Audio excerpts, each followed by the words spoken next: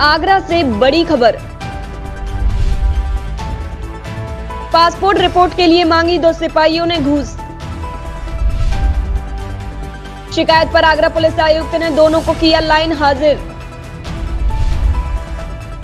Passport पर report लगाने के मांगे थे रुपए। न देने पर लगाई गई नेगेटिव रिपोर्ट। महिला ने आगरा पुलिस आयुक्त से की शिकायत। थाना रकाबगंज में तैनात अमित और विष्णु नाम के सिपाहियों को किया गया लाइन हाजिर।